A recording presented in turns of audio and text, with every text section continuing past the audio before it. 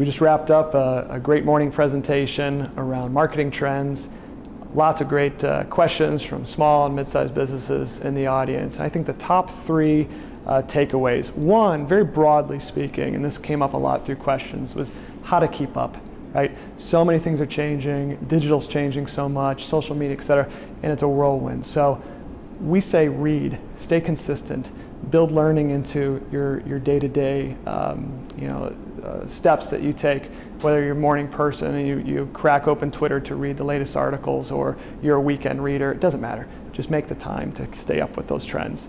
Uh, more specifically, I'd say multimedia is uh, clearly here. It's not going anywhere. Consumers use it, digest it daily in their lives. 100 million hours of video are watched per day just on Facebook alone. Brands need to start understanding how do you tell your story visually, whether through animation of your steps and your processes, your business, or one-on-one interviews with happy clients. And the last area that I'd say is really important, it's not the sexiest, but it's certainly hot because we all can get into it, is business intelligence. Every organization sitting on data and data that is not talking to each other or being compared.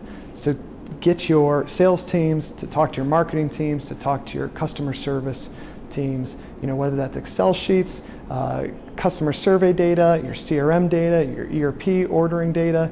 Start looking at these things from a more unified lens. You're going to start understanding how to talk to your clients more effectively and market to them more effectively.